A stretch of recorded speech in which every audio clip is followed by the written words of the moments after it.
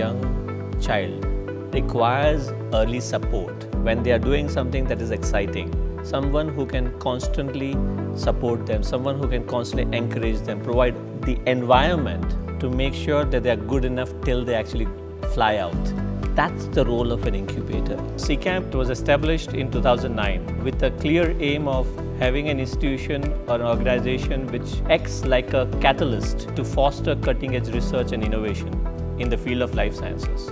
We aim to work with scientists from academia, industry, startups and help them in their science research as well as take the early ideas going to the next level. We have now at CCAMP around 85 to 90 startups that we have supported conversations. I think that is the key. If you have a culture where people can sit outside and converse with each other, that allows a next layer of dialogue which gives you a potential to do something outside the box.